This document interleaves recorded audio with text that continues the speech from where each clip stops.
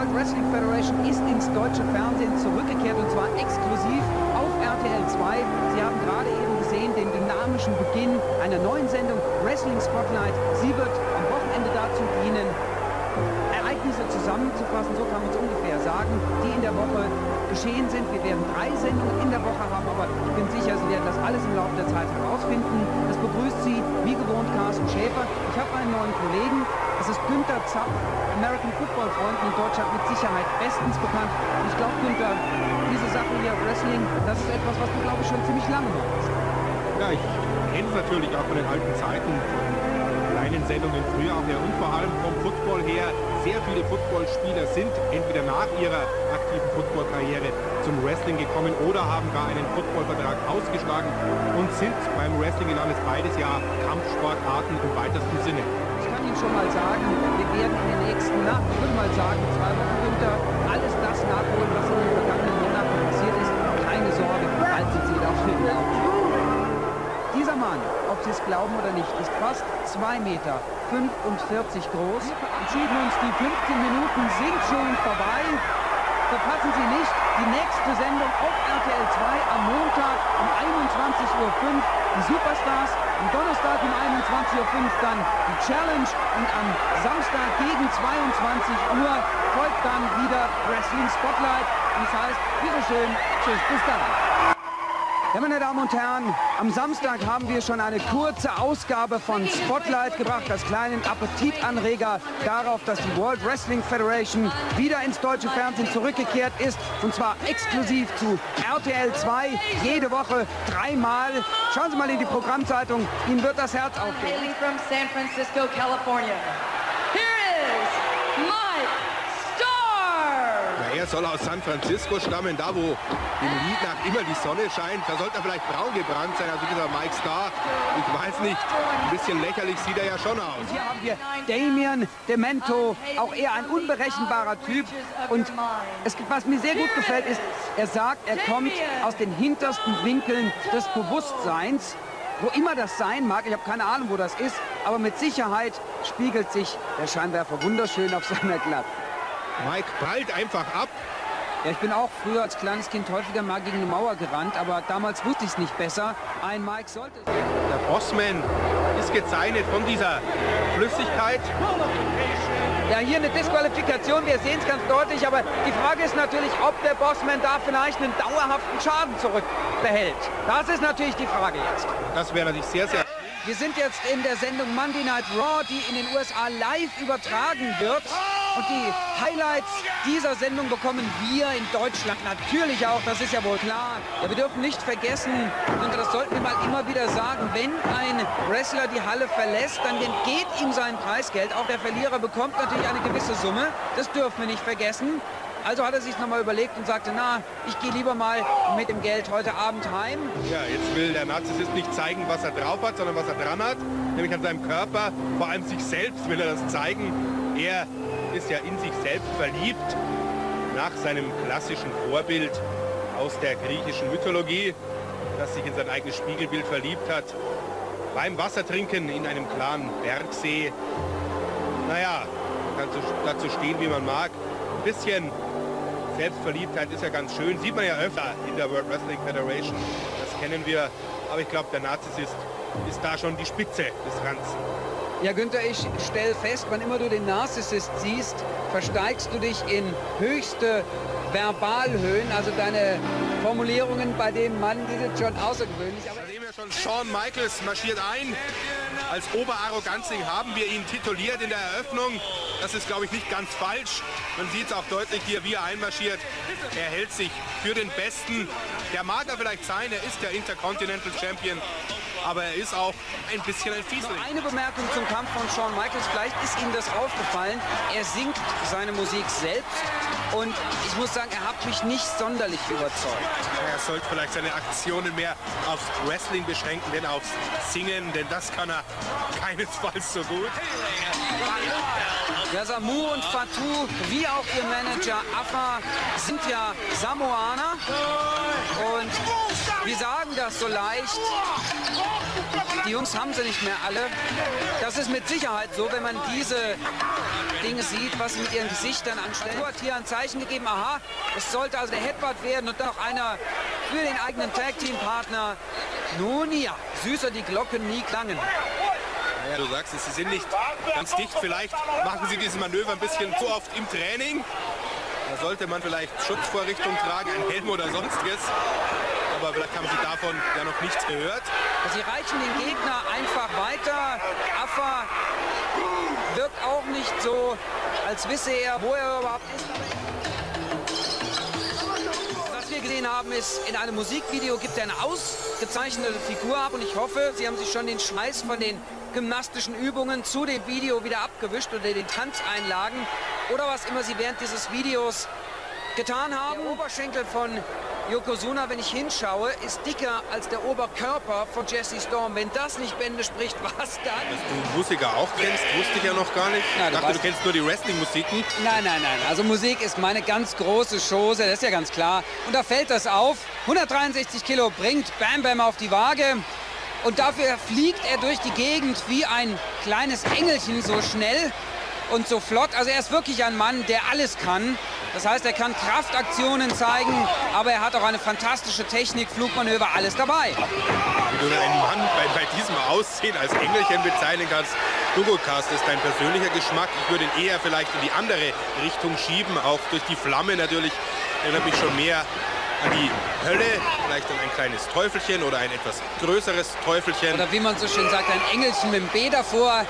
Gut, dann hier körperlich weh, wenn ich mir vorstelle, mir würde der Arm so rumgebogen und dann springt einer mit dem Knie noch drauf auf den Ellbogen, dann, naja, Prost Mahlzeit. Ja, da verschiebt alle Knochen nur in die falsche Richtung. Das Gelenk wird gegen die eigentliche Richtung bewegt. Ja, wir übertreiben da natürlich ein bisschen.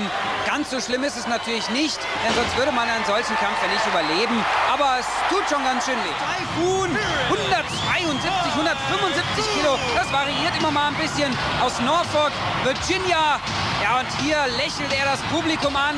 Dieser Junge ist wirklich ist schon ein paar Mal rumgedreht. Mal war er gut, mal war er böse. Aber ich glaube, er will sich doch lieber mit den Fans gut stellen. Und das merkt man ihm auch an. Und irgendwie erinnert er mich an diesen Gegner. Na, wie heißt der, der Gegner von Popeye immer in diesen Cartoons? An den erinnert er mich immer. Ich weiß nicht warum.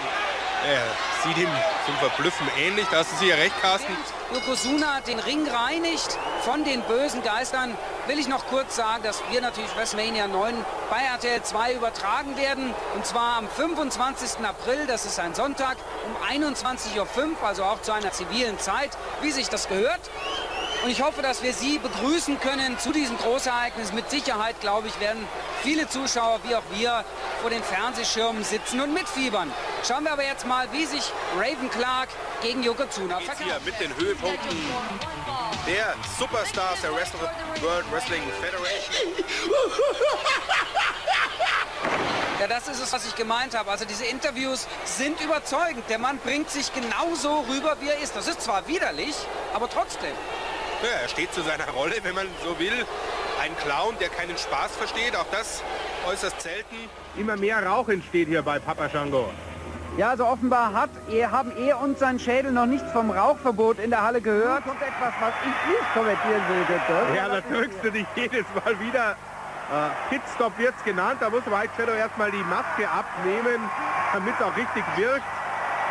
Ich denke mal, Deodorant verwenden die beiden Guten nicht, damit es auch schön ekelhaft zur Sache geht. Naja, man kann denken, was man davon will. Auch das rituelle Reinigen des Ringes.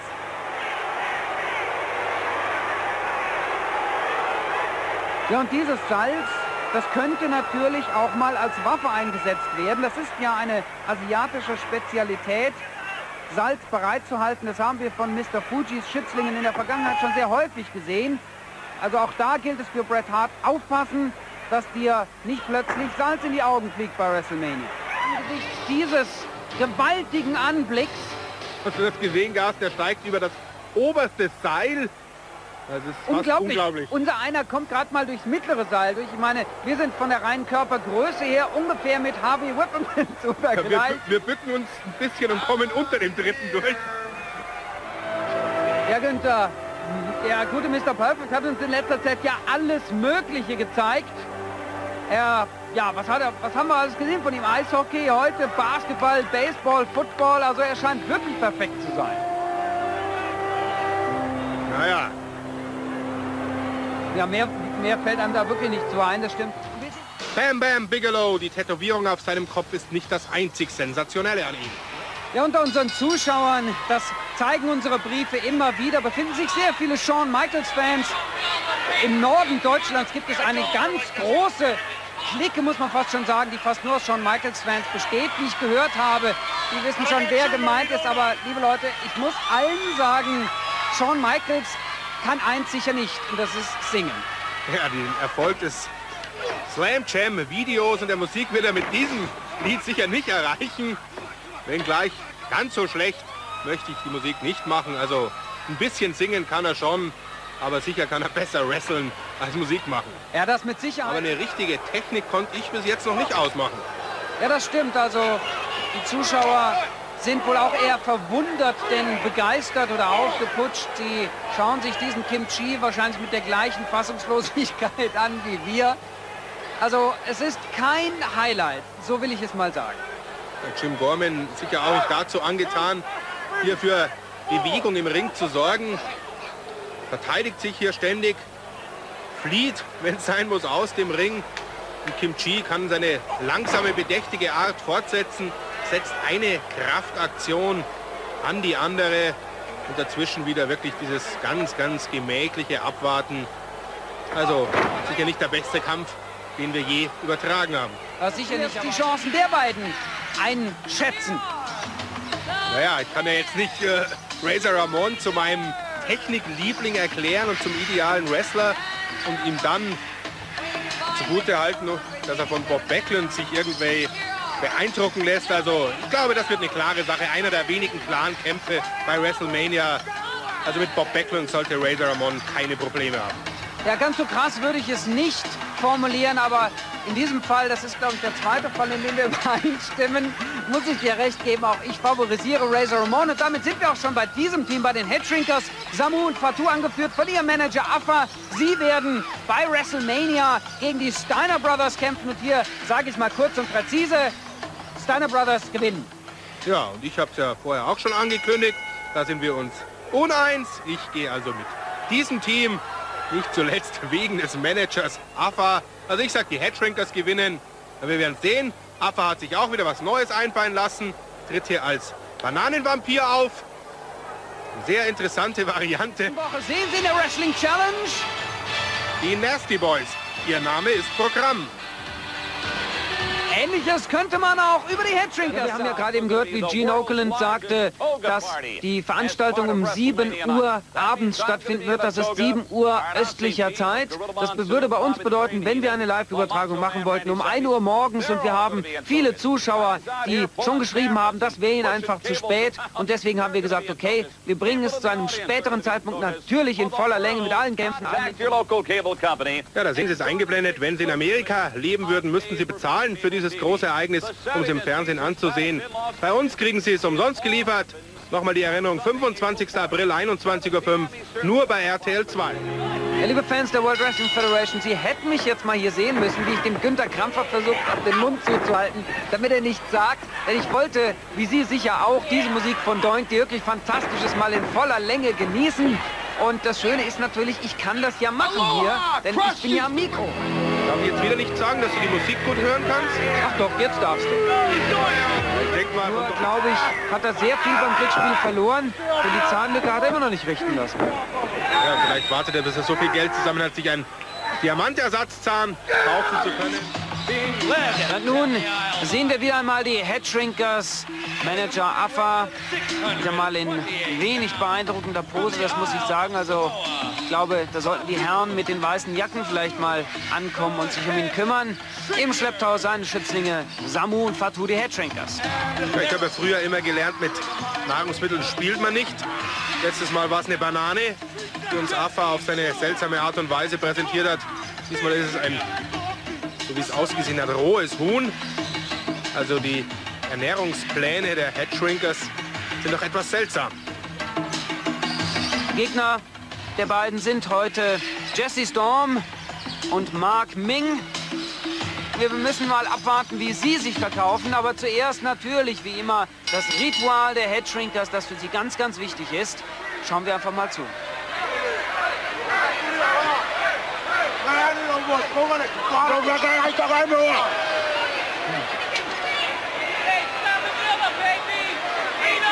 Vamos, Vamos, pasa para allá. Oye, ¿cómo se mueve? ¿Cómo se mueve? ¿Cómo se mueve?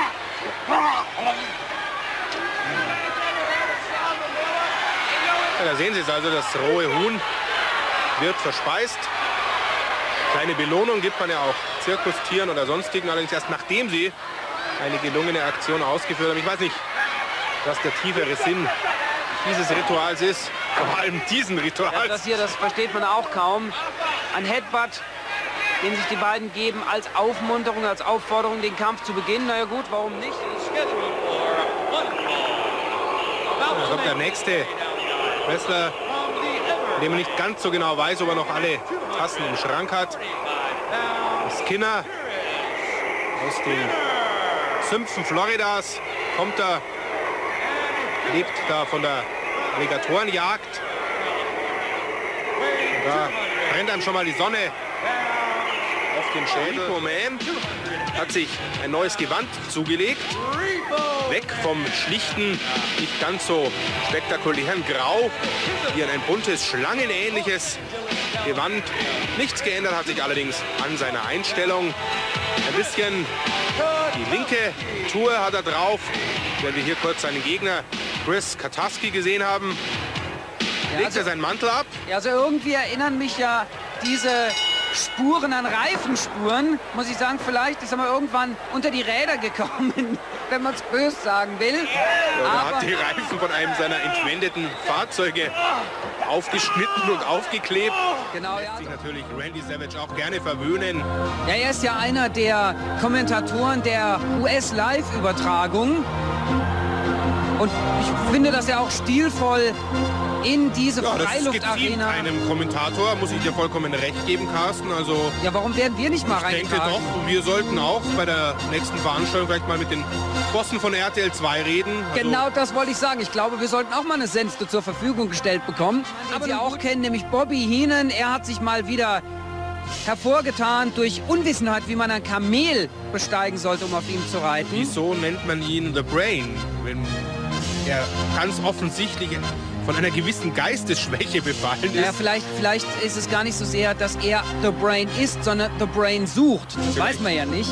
Vielleicht braucht er ein bisschen davon. genau, ja. Kann man ihm als Bayer vielleicht Hirnwurst empfehlen, aber Ja, die kennen Das wir hilft. in Preußen ja nun überhaupt nicht, diese Hirnwurst. Aber gut, verfolgt doch eine ganz klare Linie und Luna scheint keine sonderlich klare Linie zu verfolgen. Die scheint auch nicht mehr alle Tassen im Schrank zu haben, so wie sie schaut zumindest. Wrestling in Vollendung.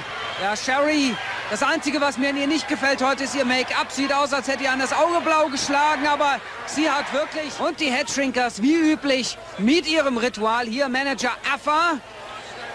Auch er einer, der nicht so ganz sauer ist. Das haben wir schon häufiger gesagt. Ja, heute hat er offensichtlich aber nichts zu essen dabei, keine Kampfverpflegung. Ein Glück, das ist ja alles rohes Zeug. Ah, das sind, ist ein solch widerlicher Anblick. Ja, zumindest wie sie die Nahrung dann auch verspeisen, selbst wenn es sich um Bananen handelt, dann haben sie eine Art und Weise, die zu verzehren, von denen man sich wirklich nichts abschauen sollte. Ja, kein Wunder, die beiden Wilden aus dem samoanischen Dschungel. So zumindest ist es uns mitgeteilt worden. Da kommen sie her und es Somit die beginnt. Besinnung zu rauben.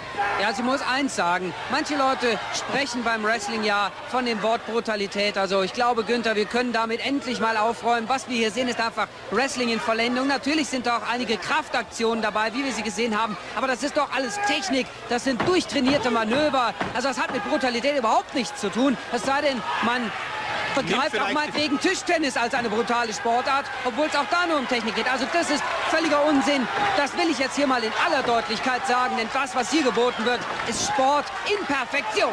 Es ist nun mal ein Kontaktsportler, bei dem sich zwei Gegner, drei, vier Gegner, je nachdem, gegenüberstehen und mit Körper in Kontakt geraten, wie beim Boxen, wie beim Ringen eben auch. Ja, man versucht ja auch nicht den Gegner oder auch beim Football den Gegner nicht zu verletzen. Man versucht ihn nur so weit zu schwächen, einfach ihm die Kondition zu rauben, ihn außer Puste zu bringen, dass er sich gegen das Cover nicht mehr wehren kann.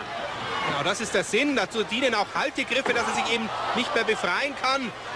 Also es gibt verschiedene Möglichkeiten. Das sieht manchmal vielleicht etwas brutal aus, aber dann darf man kein Wrestler werden, wenn einem das zu hart ist. Und die Jungs wissen ganz genau, worauf sie sich einlassen.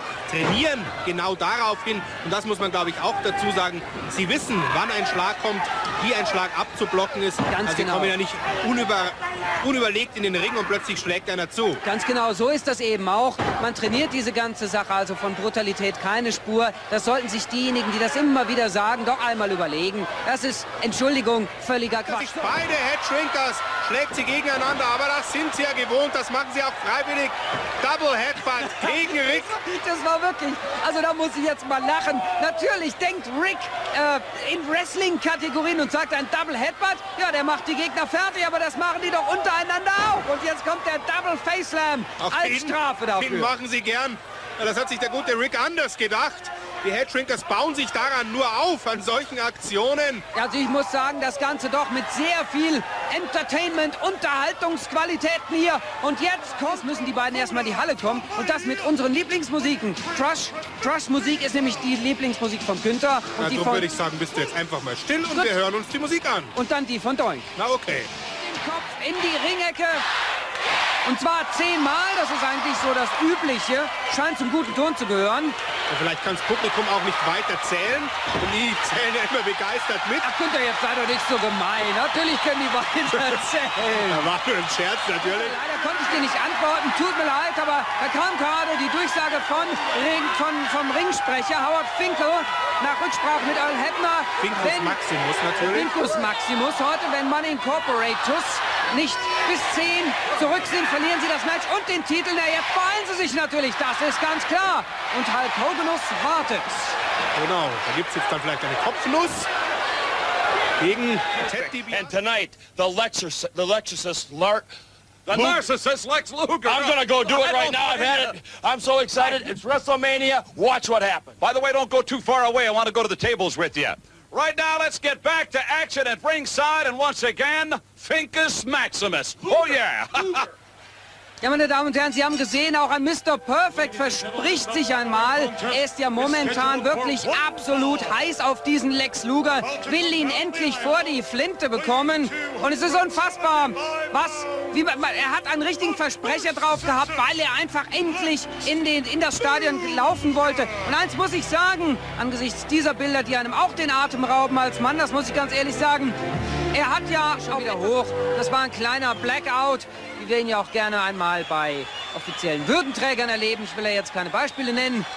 Er sitzt auf dem Manchmal auch Boden. bei Kommentatoren. Ich will auch keine Namen nennen. Das ist wohl wahr. Wir könnten da ein paar aufzählen. Ja, da sehen wir, wie er sich aufrappelt. Paul Bearer ist mit der Urne da, dessen Inhalt wir immer noch nicht kennen. Das ist natürlich keine Asche, das ist ja völlig klar. Irgendwas hat er da drin, was dem Undertaker zumindest psychologisch gesehen Kraft Undertaker nach, natürlich bewusstlos, aber es ist gar nicht so leicht, so einen Riesenkerl rauszumanövrieren. Also liebe Fans, Sie müssen sich da keine Sorgen machen. Er hat ein bisschen ein Chloroformtuch ins Gesicht bekommen, wie wir das auch in Krimis sehen. Ob das nun Edgar Wallace Krimis oder was auch immer sind. Da passiert einem natürlich nichts, aber er wird natürlich nicht mehr aufstehen. Das ist nur eine kleine Narkose, wie sie auch bei manchen Operationen verwendet wird. Dort natürlich unter ärztlicher Anleitung. Ja, und Also jetzt auch muss, nicht unbedingt zur Nachahmung empfohlen. ja, jetzt muss er natürlich abtransportiert werden, der Undertaker, das ist ganz klar.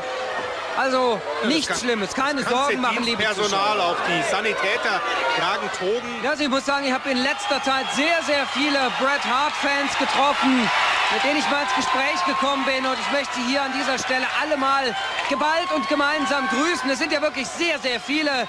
Umso weniger Fans hat Yokozuna. Ich glaube, wenn ich wirklich mal einen ganzen, einen Abend ganz für mich alleine haben wollte, dann würde ich mit Sicherheit Yokozuna-Fans suchen, Günther. und du gehörst, glaube ich, auch nicht dazu, oder? Sollte man sich nicht täuschen, also ich kenne einige, dann immer wieder der Blick auch zu Mr. Fuji. Ja, und jetzt kommen natürlich die USA, USA-Rufe, obwohl die eigentlich nicht so ganz richtig Nee, sind. Der Bret Hart ist ja aus Kanada, genau. Kommt eben aus Kanada.